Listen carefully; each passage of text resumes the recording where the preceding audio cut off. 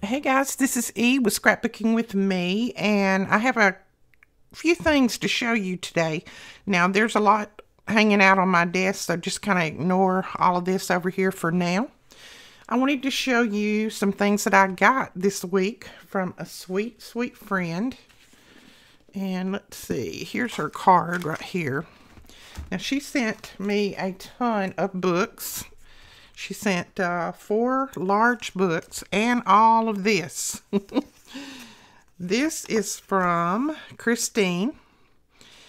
And let's see, she says, My dearest friend, as I was looking for books to send you, I came across some ephemera. Hope you will enjoy using them in your awesome crafting ideas. Praying you all are well where you are. Uh, P.S. Keep up your beautiful work. I so enjoy watching your videos. You inspire me so much. You are a blessing to me. Thank you so much, Christine. That is so sweet of you. Now, she knows I love bling, so she sent me a whole pack of bling. Love, love, love it. Uh, these are little glitter bottles. Some Kleenex for my crafting table. Some burlap this is a little um, hand sanitizer pouch. Some Cricut pens, and these are in gold. Uh, some, this is like acetate pouches, I think. Some glitter paper, uh, some a notebook, Mrs. Sparkle and Company. And then this is a little notebook that she made, I guess. I'm thinking, maybe, yeah, looks like it. So that's cute. Uh, card, I can't, I don't really know what these are, but I've got an idea what I can do with them. They're little pouches, and I think they would make great bookmarks. That's what I'm thinking anyway. And then a little pack of ephemera here. Uh, sweetness for my sweet friend. so I know what I'll do with that. And then some tags, a large tag. More ephemera. All kinds of, well, I can't even get a hold of it all kinds of ephemera in here. Isn't that gorgeous? I'll be using that on lots of different projects.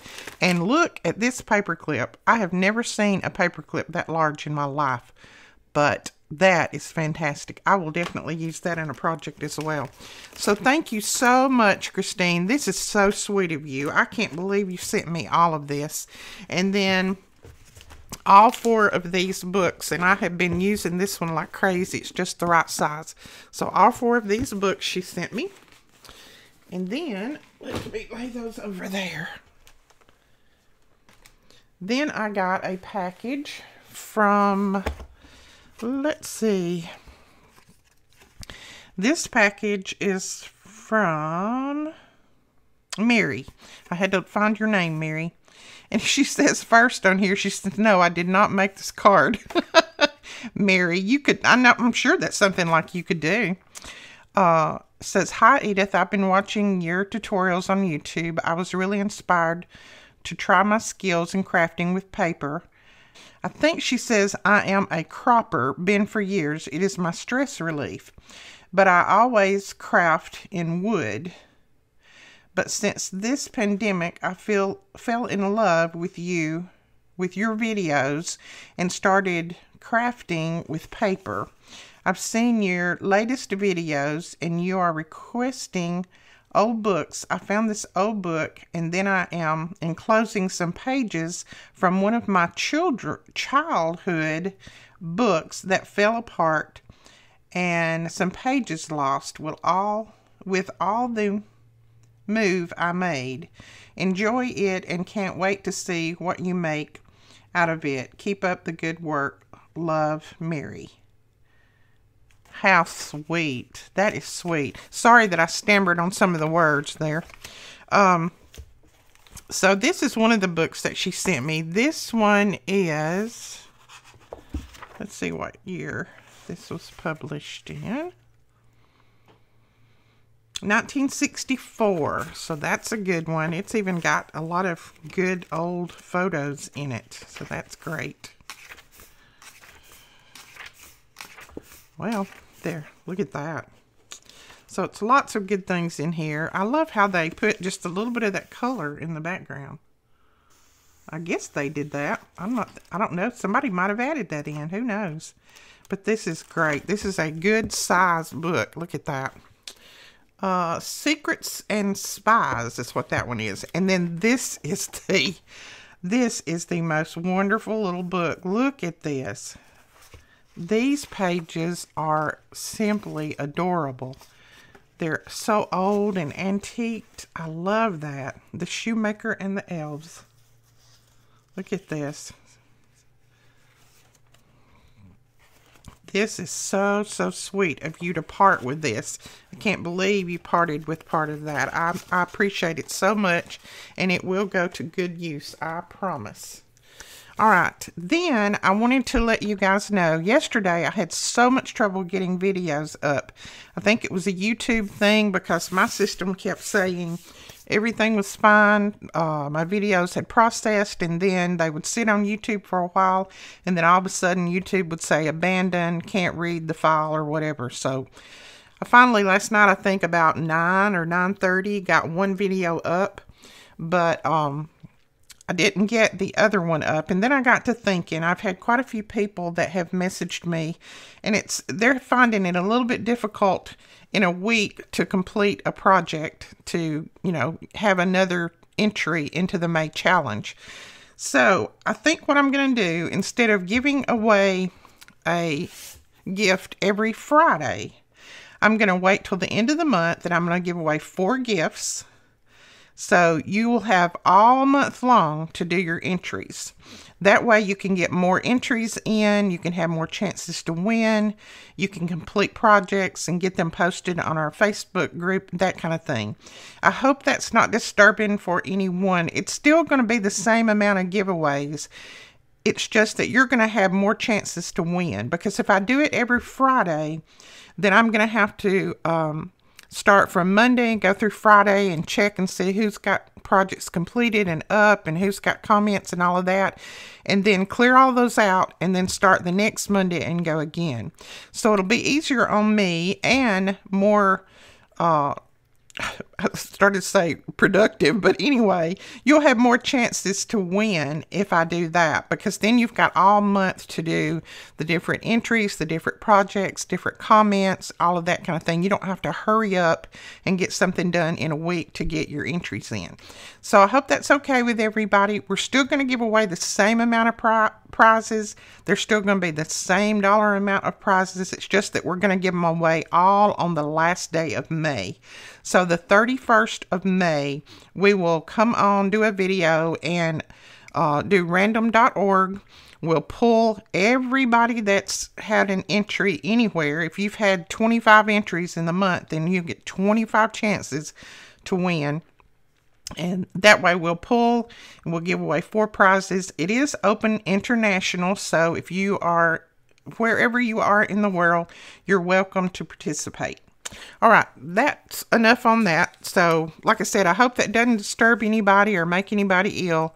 Uh, it's just, it's going to be easier on me and give you more chances to win. So, all right, I had quite a few requests to do a video on our little book page pockets. So, we're going to do that real quick today. It's not going to be a long video. It doesn't take long at all to do these, and I absolutely love doing them. I just did this one in about 10 minutes. I love, this is a little um, cutout out of a book that I had a long time ago, and I just cut that out put that on there. This is a little sticker that I had. It says, Dear Mom, I love you. And I put a little two up there to think, you know, I don't think he's two, but maybe he's going on two.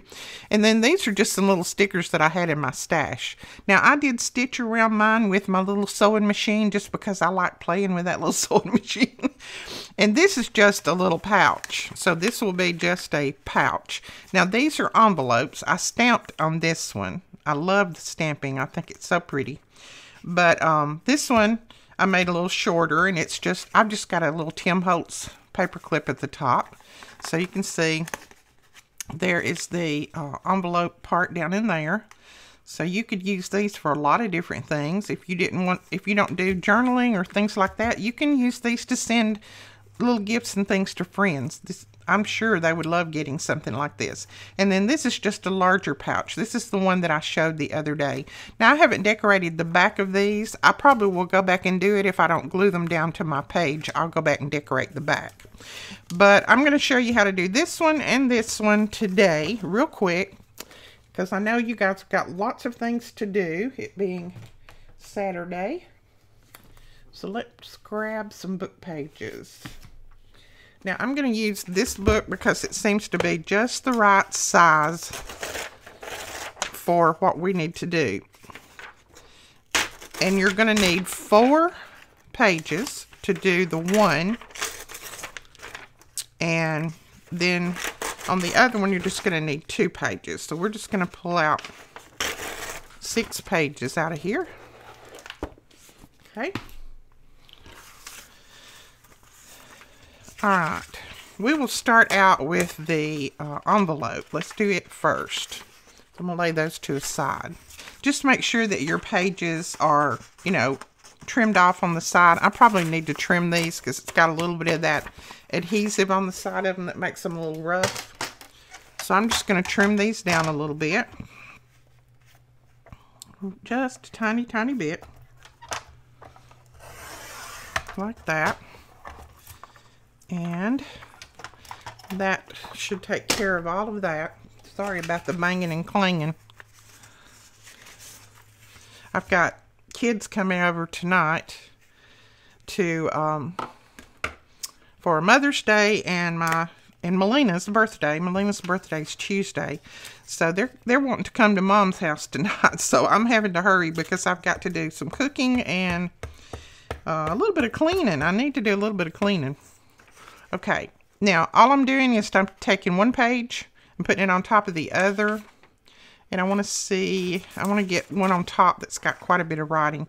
And I just used a glue stick in the center. Now, if you're not going to sew yours, if you're just going to glue yours, then you need to put glue all the way around. I plan on um, sewing this one, so I'm just going to use glue right in the center because I don't want to get glue on my needle. All right, so we're just putting a little glue in the center just to hold them, not not to glue it down. But if you're not going to sew, then you go ahead and put glue all the way to the edges because you want to glue your pages, well, very well together. Or very together well. I don't know what I'm saying. Anyway, all right. So that is that one. Then this one, what we're going to do is I want the front of this to be upright, the writing to be upright, just like the back part is. Now, when I fold this over, of course, this writing's going to be upside down. I don't, that's not a big deal to me. I'm going to stamp on it. But I want this one down here to be upright. So I'm going to trim off this white part right here. I need my other little trimmer, but this one will work. I'm going to trim off that white part. And then I'm just going to check and see I think I want, I want to go up. I'm going to make quite a, quite a large pocket on this one, I think. So I'm going to go up to about right there on that.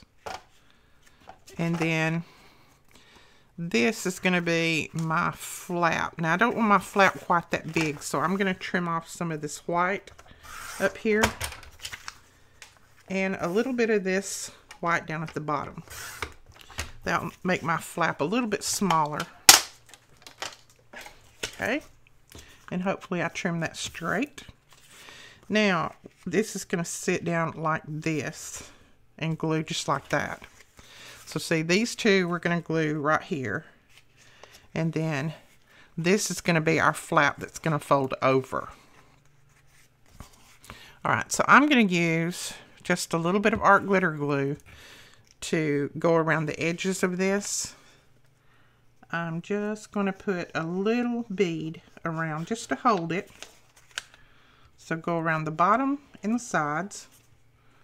Don't glue the top.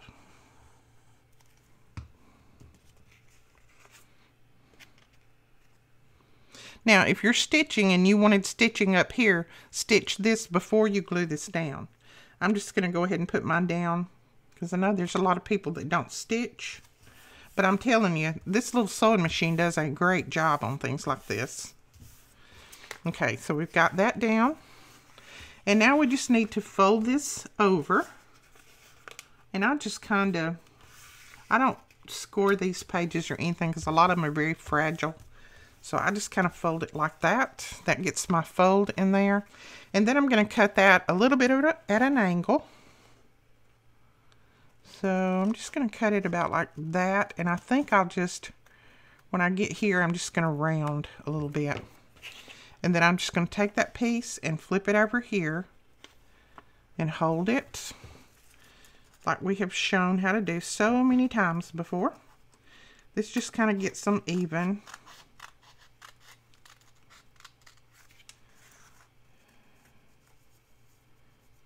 There we go.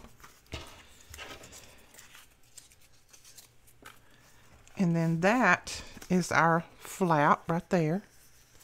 Okay. All right, now I'm going to go ahead and ink around this one. This is something you do not have to do. I just like the inking. If your book page is really, really old and it's already got the dark edges to it, then you definitely don't have to do this. This is just, this one is not uh, faded that bad, so I'm going to do it on mine.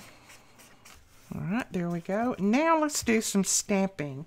Now I pulled out just some various stamps uh, I've got, let's see, I've got the Tim Holtz butterflies. So I've got that one. This is his Flutter. That's what that one's called. And then I have the Wildflowers. I believe is what this one's called. Yeah. Tim Holtz Wildflowers. I like all these. So let's pull one of these out of here. I kind of like this one right here I like that one. And I like that one. So we'll put this one back up. And this one back up.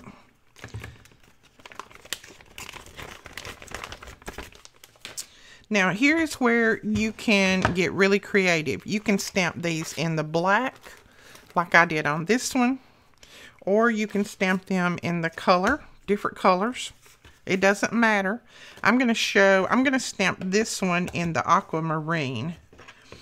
Uh, I just like adding different colors in on mine, but that's something that, you know, you just decide what you like. That's quite a big block for that one, but that's okay.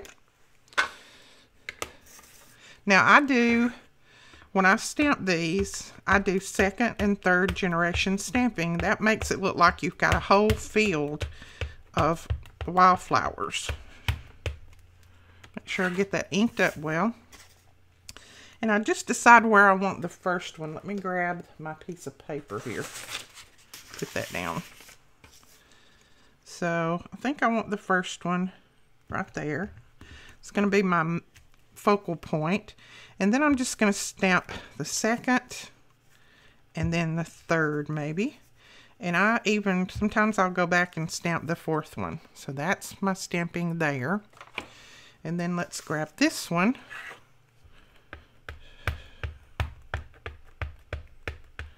Ink it up well. And then we're going to put this one over here. And you can kind of overlap them a little bit. Put another one there. I come back and I just put them in different areas. See? Lots of different, and it, it makes it look like there's a whole group there. And I think I need another one. This one's kind of big, so I think I'm going to stamp a different one. Let's grab another one here. Let's grab this one. I haven't stamped this one yet. Just stamp it and see what it looks like. We'll put it right in the center.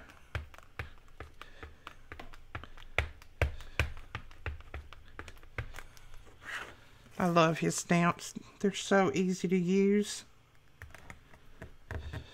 Okay. Oh, that's pretty. Then I'm going to come in over here and do a little bit right down here at the bottom. Make it look like there's some coming up there. Over that way. Isn't that pretty? And then we're going to put something up here at the top. And I'm just going to put butterflies at the top because you know how much I love butterflies. So I'm just going to do a butterfly. That one right there. Then I'm going to do one that looks like he's kind of flying away there. And then we'll do, let's do this. Let's put this right here. And we'll do kind of a light one there. And then maybe a little wing right there. So that just gets us some different stamping on there. And I love that color. Of course you know I do. Look at that. And see, that just dresses that up so pretty. Now, I'm going to I'm going to stitch on this and just show you how easy this little sewing machine works.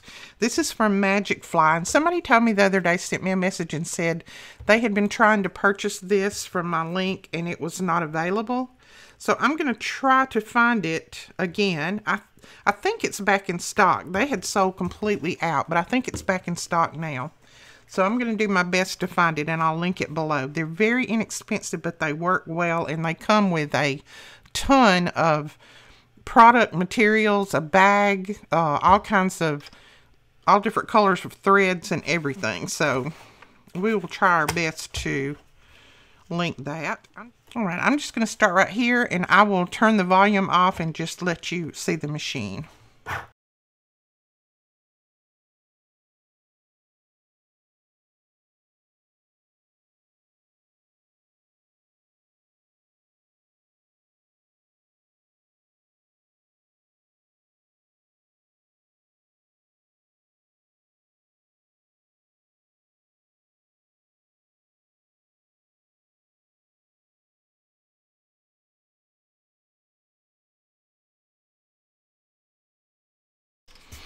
All right, so there you go. Look at that stitching.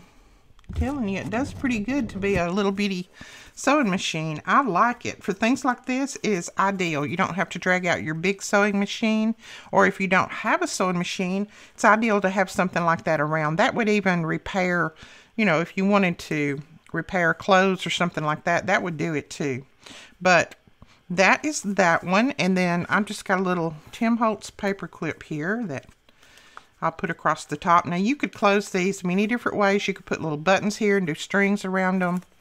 Whatever you wanted to do. And you can also tea dye this paper. You need to just spray it and not dip it because it is fragile. So I would just spritz it with my tea dye or coffee dye or, you know, like I do raspberry dye, whatever. I would just spritz it. I wouldn't uh, dip it because the, the papers are too fragile. But they look really pretty when you do that. Okay, we are going to do the other one. Now, for the pocket, all I did was I just took the two pages that I've got glued together, and I think I glued these, didn't I? No, I didn't. Let's glue. Put a little glue in here, and this this one is running out, so we'll use the last a bit.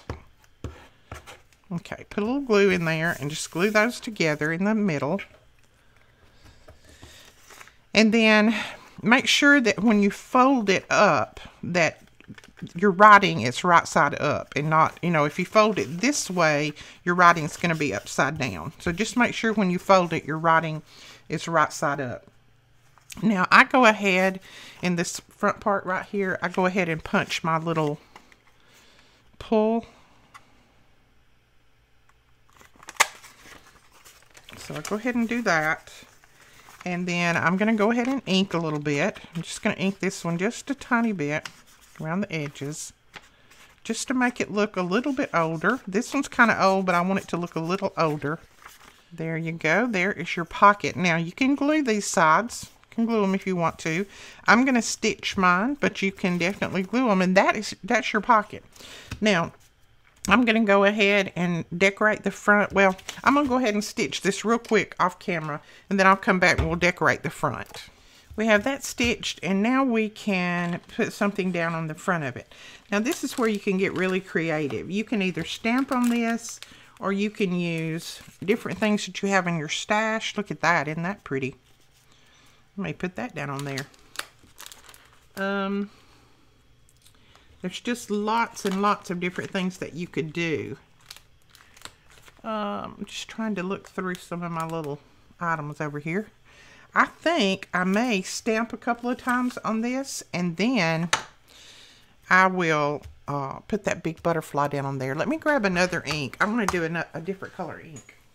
So I'm going to use Rose Madder, I hope. I think I haven't got my refill in on this one yet, and I'm hoping that I've still got enough ink in here. Looks like I do. Let's put our paper under. Ooh, pretty. I like that. And then let's go ahead and, you, let's stamp this one. It's kind of a large page. We can do this one.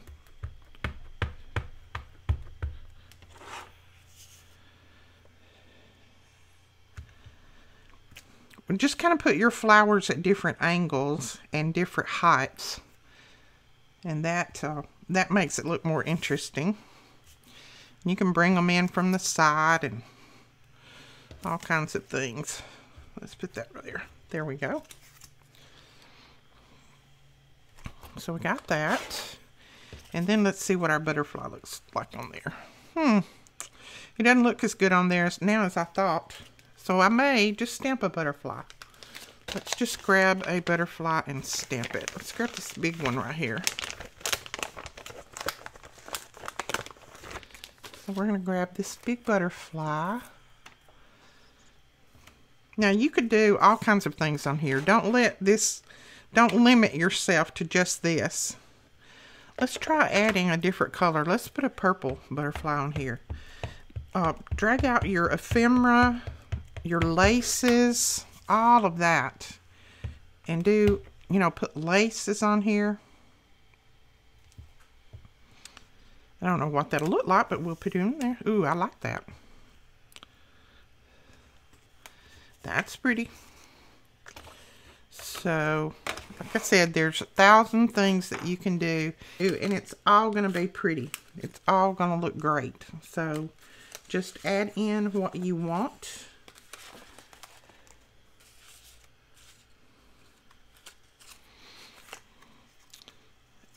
And it will look pretty. So I really don't think I'm going to do anything else to that. I kind of like the looks of it just like it is. But you could always do your ephemera like I did on this other one. Let's drag them all back out here. You could do your ephemera like I did on this one if you wanted to do that. If you don't want to do a lot of stamping, it just depends on what you like. So that is just a little bit of how to do the pockets and the tags and things from your old book pages. So drag out those old books, drag out your stamps, your ephemera, all kinds of things like that, and just start adding. I even put some bling on this one. You know I gotta have me some bling somewhere. All right, guys, that is it for this tutorial. We will talk to you guys later. Thank you so much for watching. Don't forget to leave your comments. We're, we're going to keep this rolling all the way to the end of the month, and then we're going to give away all the prizes. All right, we will talk to you guys later. Thanks so much. Bye-bye.